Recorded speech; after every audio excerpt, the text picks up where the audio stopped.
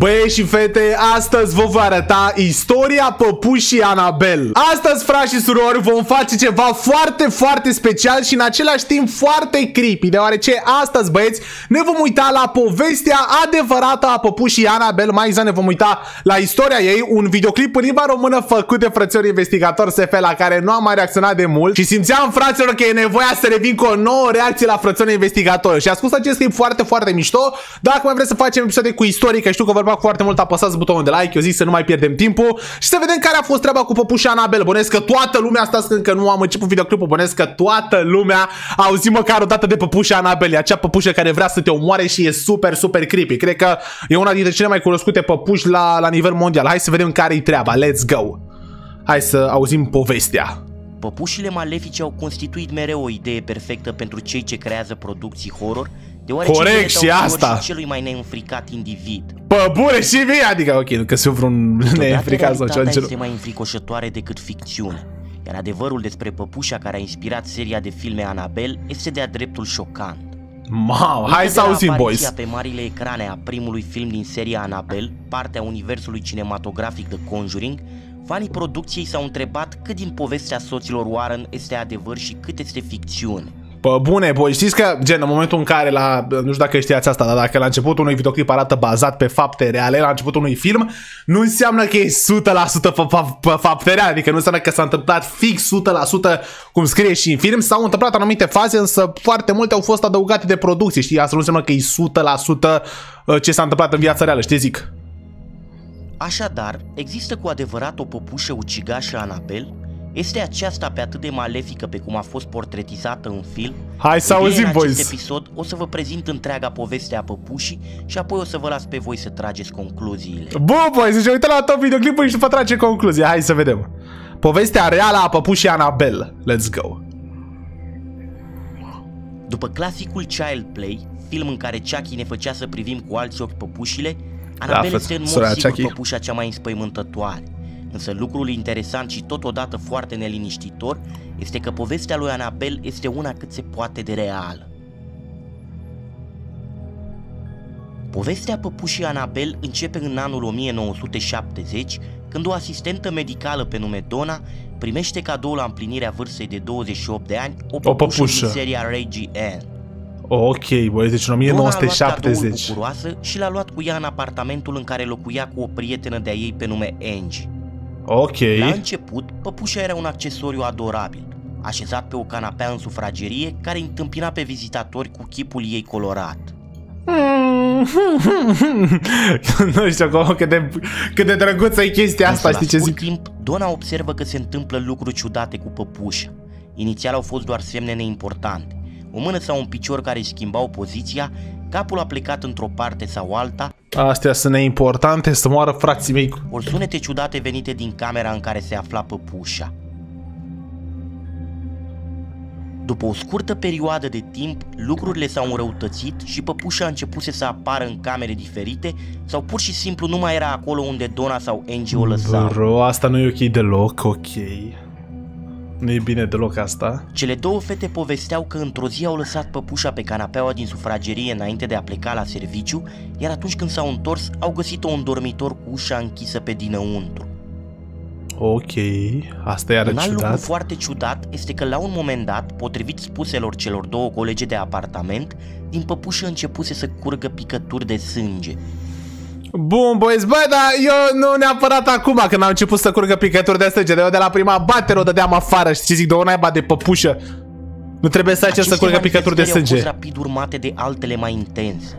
Astfel, fetele au început să găsească prin casă mai multe mesaje lăsate pe bucățele de pergament, material pe care ele nu îl aveau în casă, cu textul Ajută-ne, ajută-ne, care e numele meu, lasă-ne să stăm sau o să-ți pară rău. Bro băi, băi, băi, și astea în, în tot timpul ăsta nu au aruncat păpușa? Cum ne n-ai aruncat păpușa? Eu aruncam instant. Deci astea încă au ținut păpușa. Regulă, Dona a apelat la un medium. Acesta a văzut păpușa și a investigat unde aproape și după mai multe ședințe de La unde asta de investigator? a spus că aceasta este bântuită de spiritul unei fetițe pe nume Annabel Hikings, al cărei cadavru fusese găsit cu foarte mulți ani în urmă pe locul unde fusese construită clădirea lor de apartamente. Am înțeles, bun, e bântuită, scapă de aia, știi ce zic, lasă-o, dai de păpușă. Gen aruncă la gunoi, du undeva. de avertizmentele mediumului și au păstrat în continuare păpușa în casă, chiar dacă din primele zile ceva ciudat se întâmpla cu ea.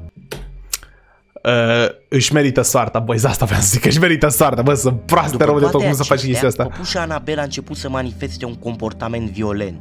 Lu, prietenul lui Angie, a rămas să doarmă câteva ore în apartamentul celor două femei. Bărbatul s-a trezit însă în toiul nopții cu o senzație puternică de sufocare. Imediat a observat păpușa așezată pe un scaun, uitându-se insistent la el. Pe corp, mm. bărbatul prezenta vânătăi și urme de zgârieturi. Doamne, Câteva ore mai târziu, toate au culminat cu un atac violent survenit în timpul nopții, în urma căruia ambele femei au suferit răni, vânătăi și zgârieturi, iar Angie... Și fiți atenți, voi, spoiler, nici după asta l-au aruncat păpușa, aici e imposibil, dacă nici acum l-au aruncat păpușa, imposibil. Nu cred așa ceva dacă nici acum. și șocată de turnura neașteptată a evenimentelor, Donna i-a contactat pe soții Warren cerându-le ajutorul. Contrariază energia malefică emanată de păpușă, Ed și Lorraine împreună cu un preot au ținut mai multe ritualuri de exorcizare în acel apartament, iar apoi s-au decis să ia păpușa cu ei. Bravo! În sfârșit! Bă, băi, nu știu, de, nu știu dacă ești asta așa de proști sau nu înțeleg eu, dar băi, dacă tu ai o păpușă posedată, nu-i foarte ușor să iei și să arunci la gânăi, bro, sau să o arunci pe un câmp, gen să nu mai ții la tine în casă? Nu e așa de ușor, pe bune. După ce au scos-o pe Anabel din apartamentul lui Donna și Angie, soții Warren s-au întâmpinat experiențe paranormale care implicau păpușa încă din primele câteva minute după ce au intrat în posesia ei. Bravo, alți inteligenți. Vreți să scăpăm de păpuși, o luăm noi, să ne omoare pe noi. Ed și Lorraine au pus-o pe Anabel pe bancheta din spate a mașinii și au plecat. Pe drum nu au vrut să o ia pe autostradă pentru că credeau că în cazul în care păpușii ar avea vreun fel de putere, ar putea provoca accidente asupra lor și a vehicolului lor. Wow, nu vine să cred. Cu toate acestea, chiar și drumul mai sigur pe care au luat-o s-a dovedit a fi riscant. În timp ce mergeau spre casă, Lorraine spunea că frânele s-au blocat și au eșuat de mai multe ori.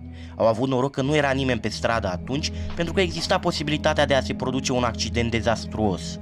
Lorena Mamă, sus... bro, bă, dar ăștia spruși, de ce nu aruncă păpușa undeva, băi, zi o turbezi, mie nu vine să crezi. Imediat ce Ed a scos apa sfințită din geantă și a stropit păpușa cu ea, problema frânelor a dispărut. Atunci când au ajuns acasă, au lăsat păpușa în biroul lui Ed. Acolo i-au spus că păpușa a levitat și s-a mutat singură prin casă. Chiar și atunci când au încuiat-o într-o cameră dintr-o clădire exterioară, Warren a susținut că la scurt timp păpușa s-a întors înapoi în biroul său. Mamă, păi și de ce n-au scăpat de apoi? De ce n-au de ce n-au tăiat-o sau să o dezmembreze? Soții Warren s-au decis să închidă păpușa într-o cutie de sticlă în interiorul muzeului lor ocult. Însă fenomenele paranormale nu au încetat și undeva pe la începutul anilor 1990, un preot din Hertford a vizitat muzeul cu obiecte paranormale. Ignorând avertizmentele mm. soților Warren, acesta a deschis vitrina, a luat păpușa și a izbit-o cu putere de un perete, strigând că Dumnezeu este mai puternic decât diavolul. Ba, nu știu dacă a fost o idee bună. Mamă, băi, dar ăștia au un uh, muzeu ocult, adică muzeu cu chestii paranormale, cât de mișto. ciudat este că atunci când preotul s-a întors acasă, a fost izbit violent de remorca unei mașini scăpate de sub control și a ajuns în stare gravă la spital. Nu e bine aici asta? Câțiva ani mai târziu, un alt vizitator a lovit cu un pahar cutia de sticlă a păpușii și a râs de cât de prost sunt oamenii care cred în așa ceva. În drum spre casă, el a pierdut controlul motocicletei sale și, și s-a expit de un copac. A fost ucis instantaneu, iar iubita lui abia a supraviețuit. Mamă, băi, bă, băi, dar nu puteau să dezmembreze păpușa.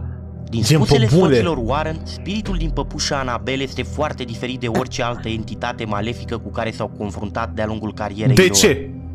De fiecare dată când a fost întrebată despre demonul care posedă păpușa, Lorraine obișnuia să răspundă scurt.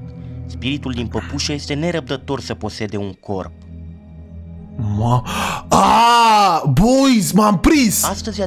Adică dacă omori păpușa, gen dacă o dezmembrezi sau ceva de genul, o să iasă spiritul din ea și o să intre într-un de, de aproape... Păpușa Anabel stă într-o cutie de sticlă care poartă o inscripție sculptată manual a rugăciunii Domnului, în timp ce un zâmbet plăcut stă pe fața ei fericită, așezată sub Mamă, un loc asta de păr e roșu, adevărata, iar pe cutia boys. în care este depusă putem vedea un semn pe care scrie Atenție! Nu deschideți indiferent de motiv.